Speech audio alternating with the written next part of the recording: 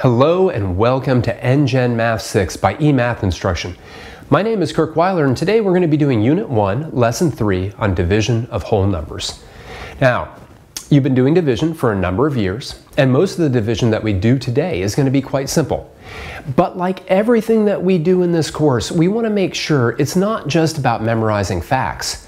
It's also about understanding what division means. So let's jump right into it. Right. Now, most of division, when you first learn it, is understood by understanding it as sort of the opposite, if you will, of multiplication. So let's take a look in exercise number one at that idea. Exercise one. Each of the following division problems results in a quotient that is a whole number. Now, all a quotient is, is the result of a division problem. That's it. Find the whole number and then write a multiplication sentence that justifies your answer. All right? So let's do the first one together. Letter A 18 divided by 3. 18 divided by 3 is 6. All right?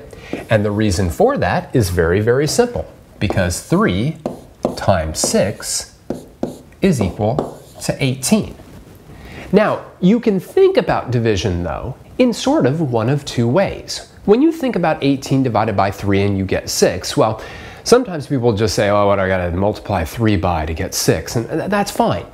But division has a real meaning, right? 18 divided by 3, you can think of that either as, hey, if I had 18 cookies and three friends, how many cookies would each friend get? Well, they'd each get 6, literally. I'm dividing up the 18 cookies.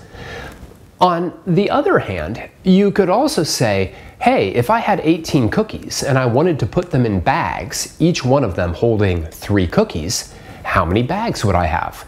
Well, in that case, I'd have six of them, right? So it's either how many times does three go into 18, or if I took 18 and broke it into three groups, how many things would be in each group? All right. What I'd like you to do is do letter B and letter C, including writing out the multiplication sentence, and then we'll come right back to it. Pause the video now and take a little bit of time.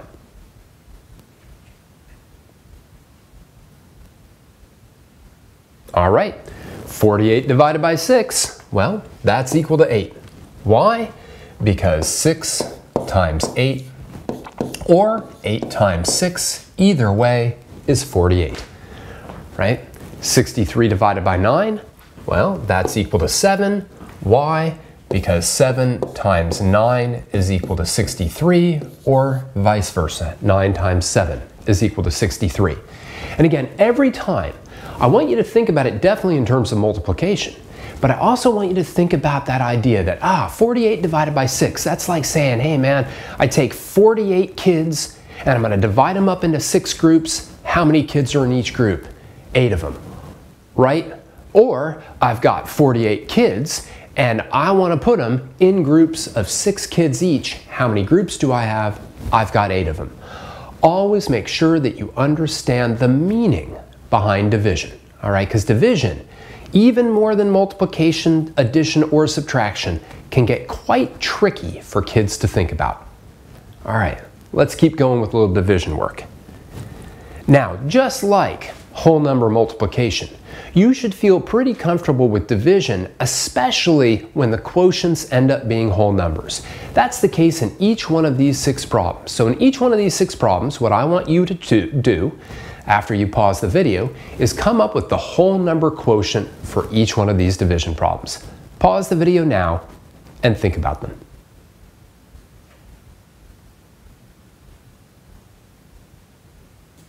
All right, very simply put, 28 divided by 4, well, that's equal to 7, right? 45 divided by 5, that's equal to 9. 36 divided by 6, that's equal to 6. 27 divided by 9, that's equal to 3. 120 divided by 10, that's equal to 12. And 56 divided by 8, that's equal to 7.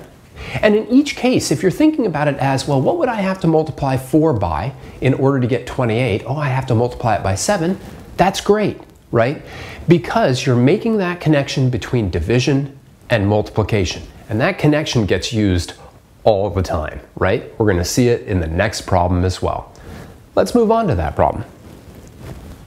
All right. Exercise number three, a little bit of the meaning of division. A restaurant is making three egg omelets. Mm. If the restaurant has 24 eggs, how many omelets can it make?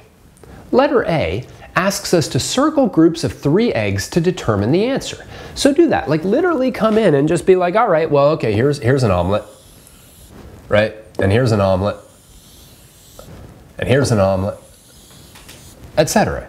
Right? Go ahead and do that. Finish off the circling and whatnot to figure out how many three egg omelets they can make. Take just a moment to do that.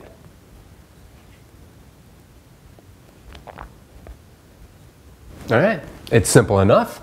We've got another omelet and another one, another one, another one, and another one. And of course we can count, and that's simply going to be eight of them.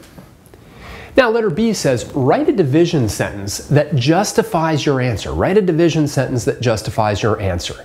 So, a division sentence is just an equation, right? I want something divided by something equals 8. I think you can easily write that down, but pause the video for a second to give it a shot.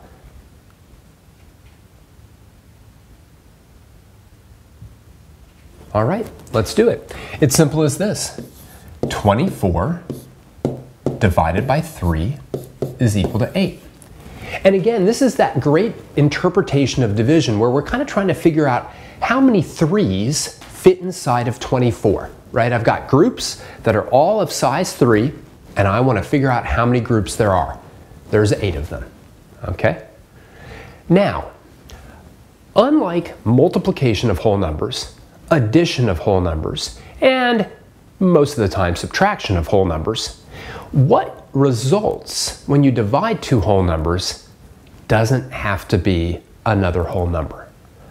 Oh, let's take a look at that in the next problem.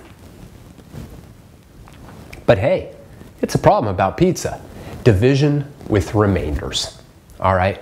So often when we divide two numbers, 24 divided by 3, we get a whole number, 8 but sometimes we don't. And let's take a look at a classic situation. Exercise number four. A pizza has been cut into 16 slices as shown below.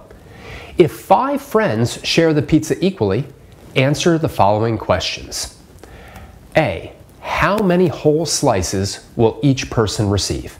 All right, well, let's just kind of let's just kind of think about this for a minute, right? We've got these five people and they're trying to share 16 slices. Well, let's see. Um, they certainly would be able to get at least one slice each because that's just five. Um, if they got two slices each, that would be 10. And if they got three slices each, that would be 15. Now they can't get four slices each because that would be 20. And of course what I'm doing right now, right, is I'm going through multiples of five. And the closest multiple of 5 that is still less than the 16 slices I've got here is equal to 15. So each is going to get each will get 3. And that's because, right, 5 times 3 is equal to 15, right? Now, letter B, how many slices will remain after the whole slices are given out? Well, that's pretty easy, right? We had 16 slices to begin with. If each person gets three slices each, right, then we've used up 15 of them, which means we just have one slice remaining. Letter C says write a division sentence that summarizes what we found in A and B, write an equivalent multiplication sentence. So I want to write out what we found in both A and B, right? And that's really what what's happening when I take 16 slices and I divide it up amongst five people. Well, what I get is 16 divided by 5 gives me 3 with a remainder of 1, right? So 16 divided by 3 is 5, uh, uh, sorry, 16 divided by 5 is 3, but then I have one whole unit remaining. Now, how would I put that in terms of multiplication? Well, in terms of multiplication, what I would say is I would say that 5 times 3 plus an additional 1 would be equal to 16. There we go. Right? So this is kind of the, the whole number part, right? And this is our remainder. Now, letter D, just a little fraction work here. If the remainder, that remainder of one slice, was divided equally between five friends, how much of a slice of pizza would each of them get? Also, how much total pizza would each friend get? Well, I mean, there's only one piece remaining, and if it was divided evenly amongst all five of the friends, they would each get one fifth of a slice. It would be a pretty thin slice, right? It'd be one of those like super thin things that you could just kind of chuck into your mouth and eat in a single bite, right?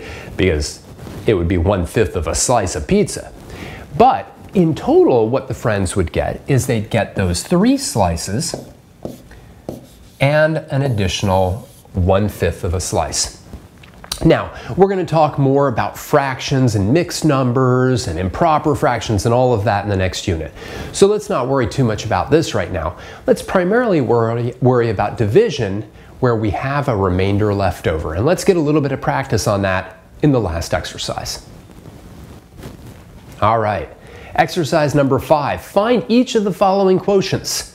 Express your answer as a whole number and a remainder. All right. So in every one of these problems, our result is not just a whole number. It's a whole number plus there's something that remains. All right, so let's talk about like 40 divided by 7 and how you'd want to think about that. A lot of students like to think about it kind of like this, right, with our division kind of symbolism 40 divided by 7. And what we would do is we'd say, all right, well, like how many times does 7 go into 40? Well, 3 times 7 is 21, 4 times 7, 28, 5 times 7, 35, uh, 6 times 7, 42. No, that's too big, right? 6 is too big. But, but, but 5 isn't, right? So I could put a 5 up here, and that would give me 35. And when I subtract these two, I'd have a remainder of 5.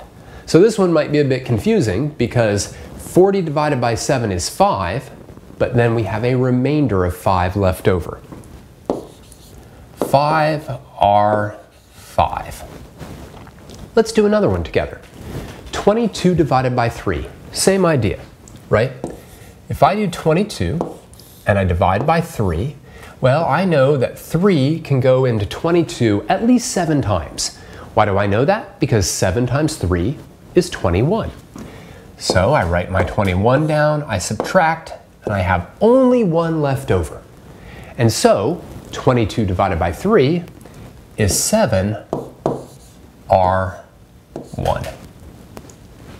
All right?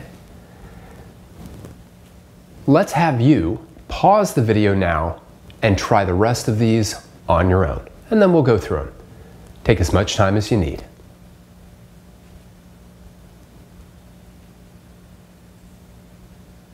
All right, let's go through them.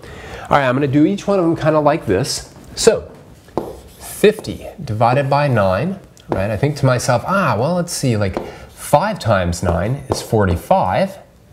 And we subtract, and we get a remainder of 5. So, just like in the first problem, we've got, ooh, we've got everything moving and doing funny things on me. We got 5R5. There we go. Let's take a look at 58 divided by 8. Hopefully we won't get 5R5 or any funkiness happening with our smartboard. It wasn't so smart there though. All right, 58 divided by 8.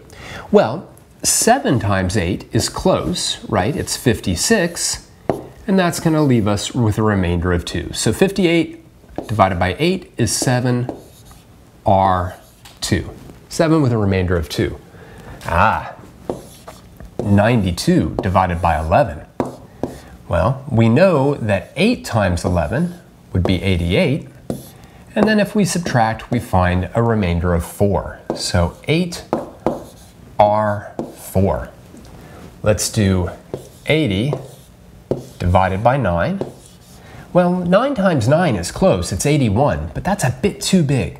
So it's going to have to be 9 times 8, which gives us 72, and gives us a remainder of 8. 8 R8. Let me pause just for a moment to make sure that you understand an important principle when it comes to remainders, right? you know, why didn't I have a 7 here? You know, why didn't I have a 7 or 6 there, right? So the point is the remainder should be smaller than what you're dividing by. Because if the remainder is equal to or larger than what you're dividing by, then you could have divide, you could have had a larger quotient here. All right. So this number always has to be smaller than that number, or it simply can't be the remainder. There's just there's more that can go in. All right. Let's finish off the last three by raising up the board. All right. So 35 divided by 10. Well, 10 can go into 35 three times. That gives us a 30, and when we subtract, we have a remainder of 5. So that's 3 R5. 51 divided by 7, well, 7 times 7, that's 49. So that's pretty close. And when we subtract, we have a remainder of 2. So 51 divided by 7 is 7 with a remainder of 2. And finally, 37 divided by 5, well, 5 can go into 37 seven times, right? Gives us 35, and also gives us a remainder of 2. So, same answers on those last two, 7R2 and 7R2. Sounds like a character out of Star Wars at this point. Um, so, real simple, right? A lot of times when we divide, we do get whole numbers as as our answers, but sometimes we can get close but still have remainders left over. And we're gonna, again, see the connection to fractions eventually, but for right now, just make sure you can do the division and identify the remainder. All right, let's wrap it up.